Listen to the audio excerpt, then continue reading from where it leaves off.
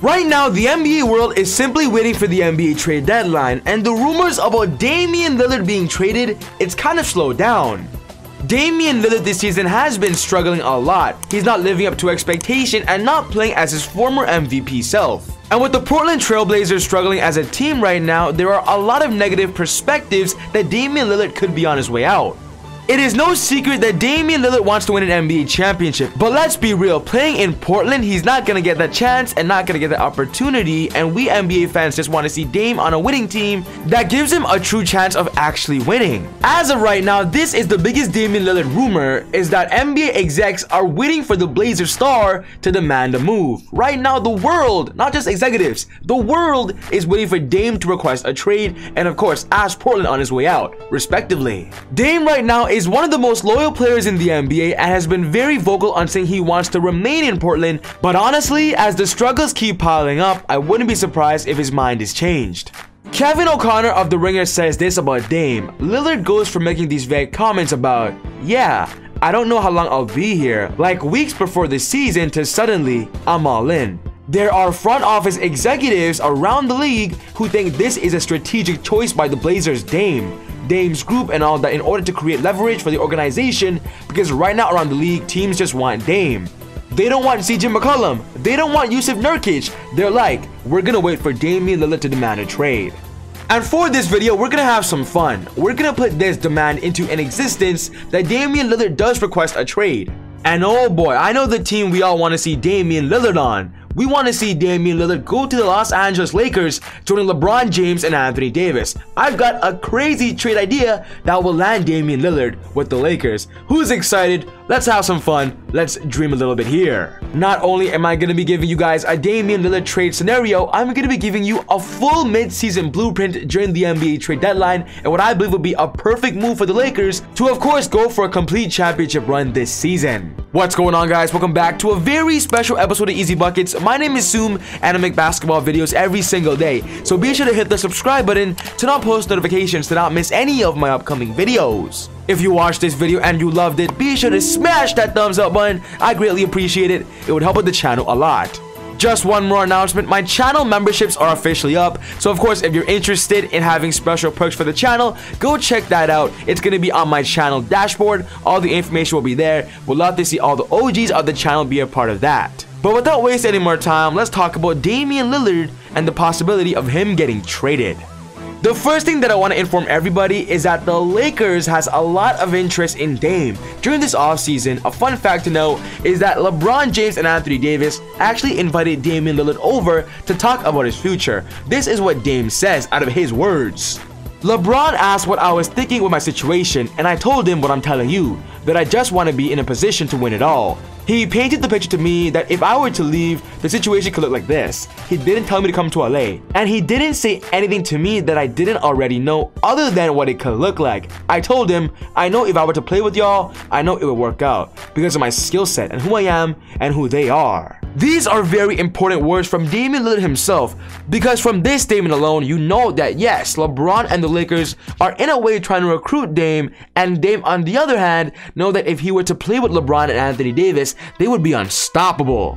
So now let's dive right in. What is the perfect blueprint for the Lakers to get Dame? I believe this is step number one, and that's doing a blockbuster deal. The Lakers offering up Russell Westbrook, Talen Horton Tucker, Malik Monk, unfortunately, their 2025 first round pick, and their 2027 first round pick in exchange for Damian Lillard and Robert Covington. I believe this is the ideal deal that would help out the Lakers and help out the Portland Trailblazers.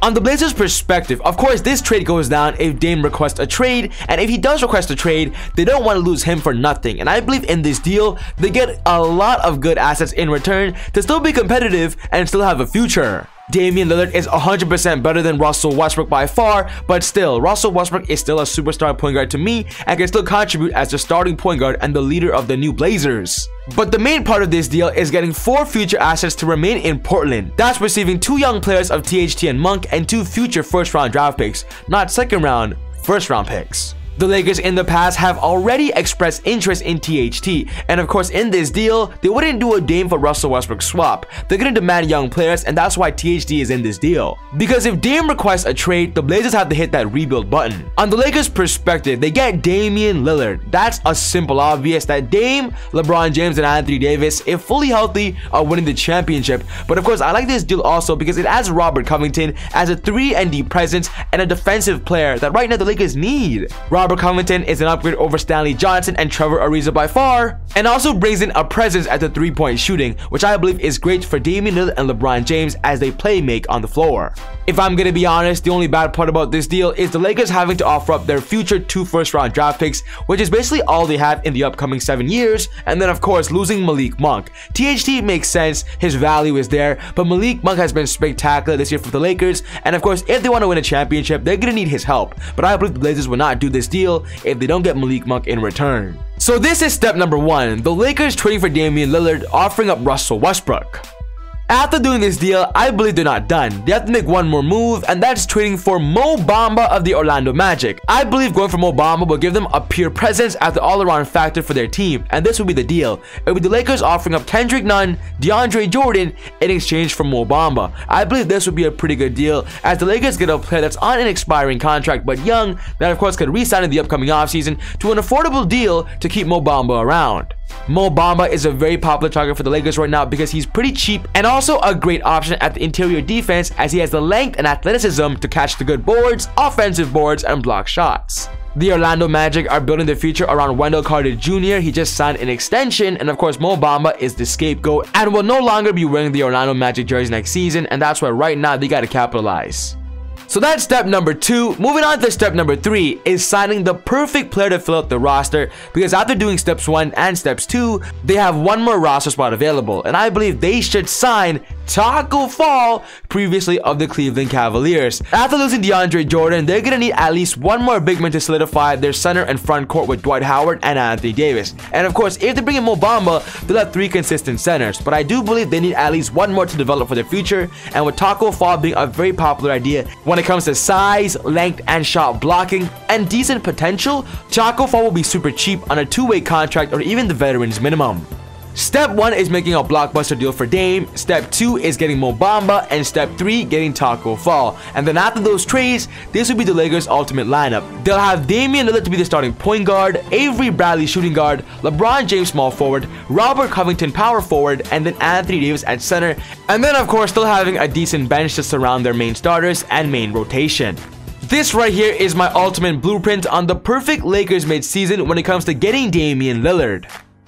What's most important to me is I want to know your thoughts. I want to know if you guys think this is a good idea or do you believe they should look elsewhere. Put your thoughts down in the comments below. But other than that, take it easy, God bless, and I'll see you all next time on Easy Buckets. Woo!